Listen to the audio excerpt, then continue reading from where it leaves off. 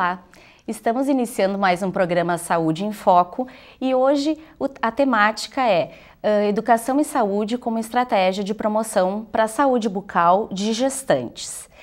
É, então, a gente começa a pensar que a gestação, período gestacional, é um período de extrema importância na vida da mulher, né? E de muitas, muitas uh, mudanças, tanto no seu estado emocional, físico, mental e também em relação à sua saúde bucal.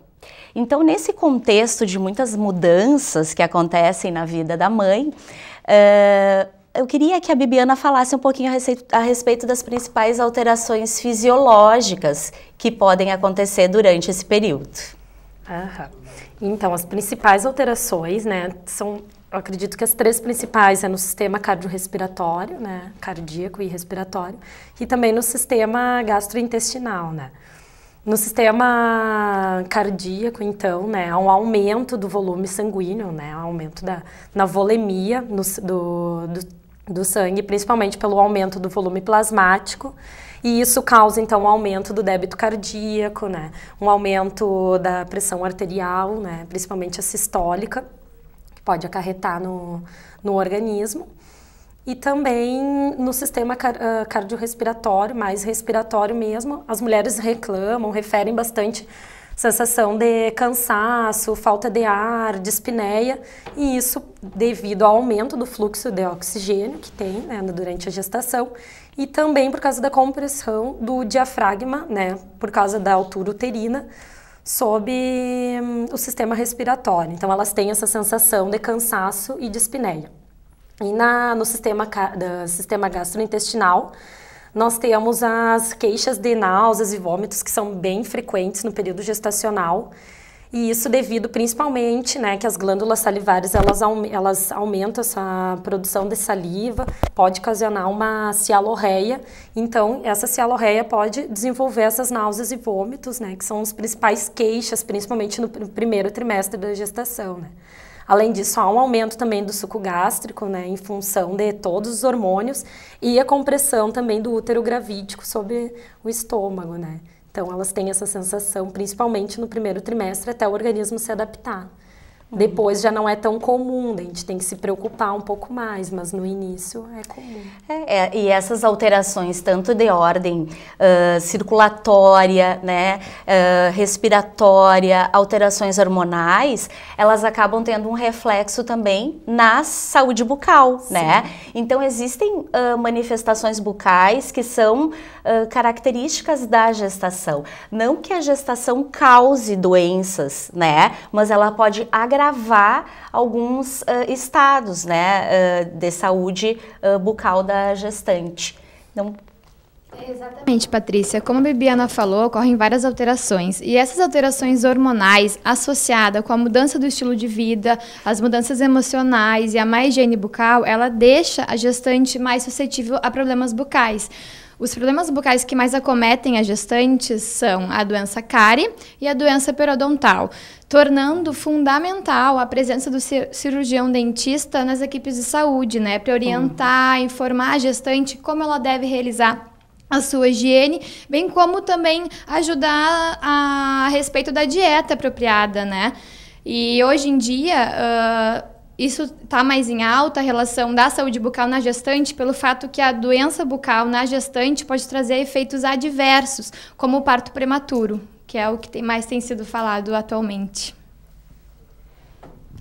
Isso, inclusive, tem estudos né, que demonstram isso, que a doença periodontal pode provocar um parto prematuro e isso afeta muito porque a higiene bucal a gente acaba deixando um pouco de lado nessa fase, né, que é tão importante para a mulher e tem uma série de outras preocupações. Então, por isso é fundamental a preocupação com a higiene bucal. Além disso, tem muito dentista que acredita que a mulher gestante não pode ser tratada e isso é um pouco, né, de mito, digamos assim, já que a, a gestante deve ir para evitar certos problemas, né?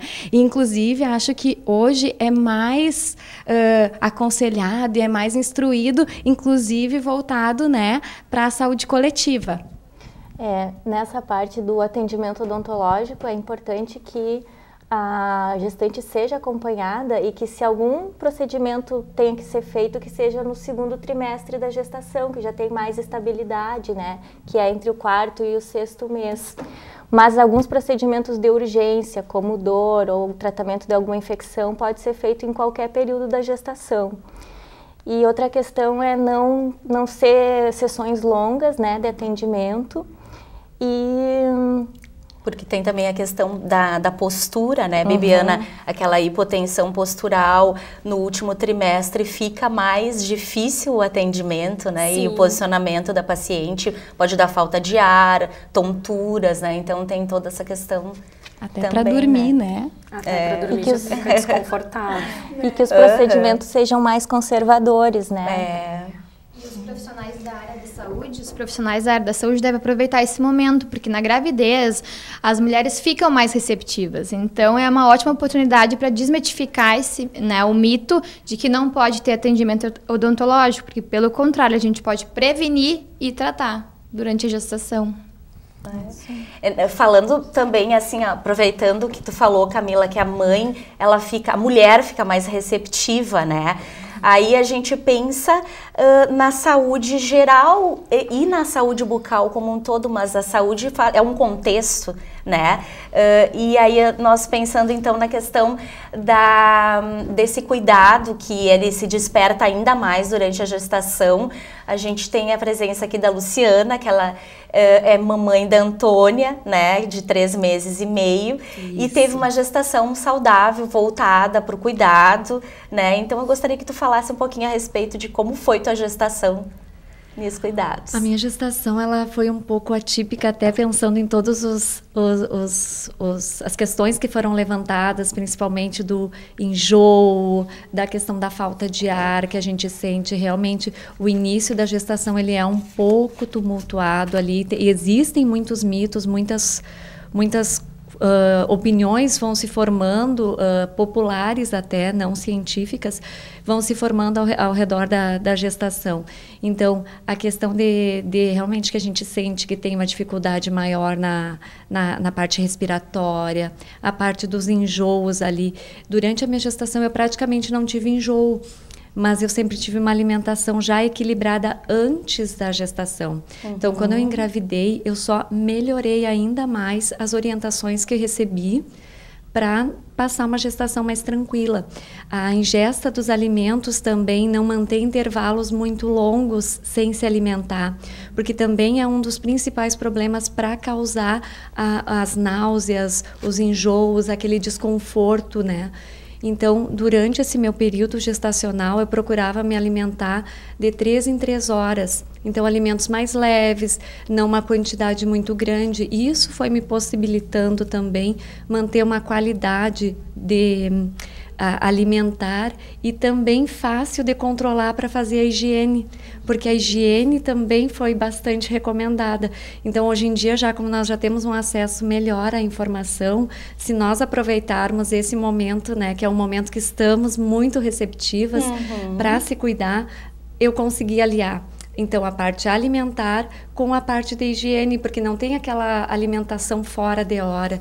Então, no momento que eu me alimentava, já fazia a minha higiene e já estava pronta para as minhas atividades. Isso não é. me atrapalhou, e né? tu, tu fostes, assim, um, um, exemplo, digamos. A gente tem aqui algumas imagens, né, mostrando uh, toda a tua experiência e toda a tua preocupação com a, a saúde uh, e o teu bem-estar físico, né? Uh, e tu, tu sempre se voltou muito para para a questão do cuidado com o teu corpo e não deixou de fazer as atividades que tu fazia.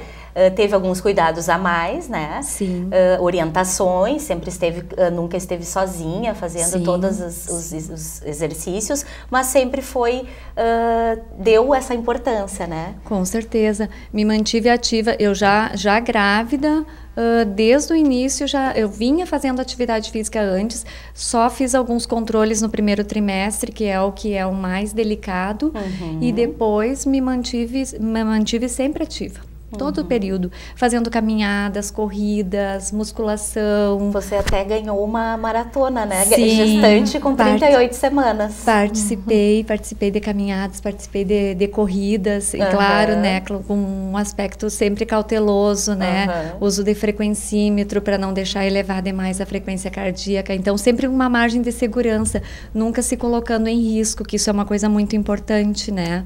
Então, eu não me tornei uma atleta, eu vim praticando, vinha praticando atividade física e me mantive ativa. Uhum. É. Até o último dia. Até o último dia, a Antônia nasceu num sábado e na sexta-feira eu ainda estava fazendo musculação. Que maravilha. que legal. Uh, Acho que a Cássia. É. Cássia é aluna da odontologia acadêmica Isso, aqui do, do, do sétimo aniversário franciscano. Quer fazer alguma pergunta? Sim, uh, Luciana, em relação à, sua, orientação, uh, em relação à sua saúde bucal, você recebeu alguma orientação do seu médico ou do seu dentista? Então, eu recebi. Inicialmente, eu já, já havia recebido do meu dentista, né? Que eu deveria me manter uh, com os cuidados durante o período gestacional e a minha obstetra também recomendou que eu me mantivesse em contato com o dentista para fazer as limpezas, né? Para manter se eu estava fazendo uma boa higiene. Então, durante a gestação, sim eu fui orientada a ter uma boa higiene e não tive nenhum problema, nem de, de, de cárie e nem de sangramento gengival, que eram as principais questões que é, me eram levantadas durante esse período. Uhum. É bom relatar que algumas né, mulheres têm é, esse sangramento devido até à alteração hormonal, né, junto com a, a, falta de escovação. Então, isso em algumas mulheres é comum, mas bem como foi falado, por estar mais receptiva, por está querendo se cuidar mais para levar isso né, uh, ao longo e perpetuar para a criança em si, acaba se cuidando mais também. É. E, e, assim, olha, Renata, a gente falando agora, já que tu comentou a respeito disso, uh, pensando na mulher como uh, um elo dentro da família, né? Um elo importante, uh, tanto na questão da união quanto perpetuar bons hábitos, né? E, e, e fazer, ser um exemplo dentro da sua, da sua família, tanto para os filhos quanto para os bebês, né? E, e, aí eu gostaria que tu falasse um pouquinho a respeito dos hábitos durante a gestação, que são orientados à mãe, e os bons hábitos que ela deve passar para os seus familiares e para o bebê. Isso, acho que a gente tem um exemplo aqui, né? A Luciana falou muito bem sobre essa relação e esse tipo de informação e perpetuar, né? Acabar tendo uma vida mais saudável por opção. Uh, muitas mães não têm, né? Essas informações, essas opções, mas acabam tendo que fazer para que tenha uma gravidez mais saudável e isso depois, né, passe para a criança. Então, algumas indicações, né, seria a alimentação saudável, que é muito importante, porque se tiver a falta de nutrientes, isso tanto para gestante quanto para criança pode causar danos, né, eh, na saúde geral e também na saúde bucal, pode causar hipoplasia, uma série de doenças, né, eh, no feto em si. Então, a alimentação com proteínas, com frutas e ser regrada, que nem tu falou, acho que isso é muito importante. Não ficar longos períodos sem comer, isso provoca, né, uh, e pode gerar até uma hipoglicemia e ocasionar outras doenças. Além disso, acredito que depois que a criança nasce, né, a amamentação é fundamental. Sim, eu, é, eu ia falar isso também. Né? É. E, e, e, a amamentação em si vai gerar benefícios tanto para a mãe quanto para a criança, né? É, eu queria até saber se durante a amamentação tu teve algum desconforto, ou foi bom, foi ruim? A amamentação para mim foi uma grande surpresa, porque nós sempre ficamos na dúvida, vamos ou não vamos conseguir amamentar, né? Então, passo pela, embora tenha tido uma gestação maravilhosa, passo pelos mesmos medos que todas as mães passam. Vou ter um bom parto, vou ter, vou poder amamentar, vou ter leite, enfim. E realmente é uma, uma grata satisfação poder amamentar.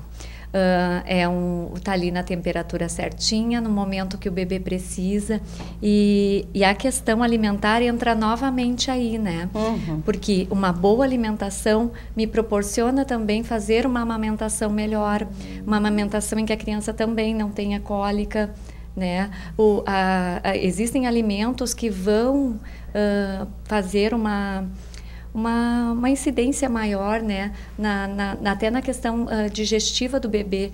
E isso vai acabar atrapalhando na hora do amamentar. Então, novamente, a alimentação está em questão.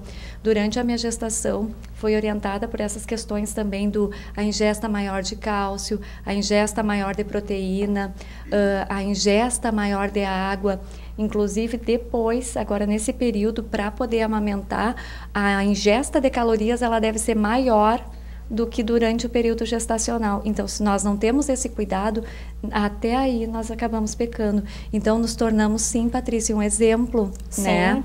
E tu pensar também que na questão da amamentação, a mãe ser o exemplo e estimular isso uh, para estimular os músculos, a, a tonicidade orofacial, né? O desenvolvimento correto dos ossos, da face e também, já nesse momento que tu estás amamentando, tu também ter a noção que tu necessita fazer a higienização da boquinha do bebê, já para começar a introduzir um elemento que vai ser também depois uh, substituído por uma escova e que aí ele vai ter isso como um hábito que ele vai seguir sempre. Então aí o teu filho também não vai ser um problema de você ter que ficar uh, pedindo para ele escovar, porque isso vai ser natural. Assim como a alimentação saudável vai ser natural, o hábito também vai ser, né? Isso, e é importante salientar, né? A, a amamentação ela é indicada, inclusive a amamentação exclusiva até os seis meses, a OMS indica. Sim. E claro, uh, depois dos seis meses, complementar a amamentação até os dois anos, né? Com outras formas, começando com a papinha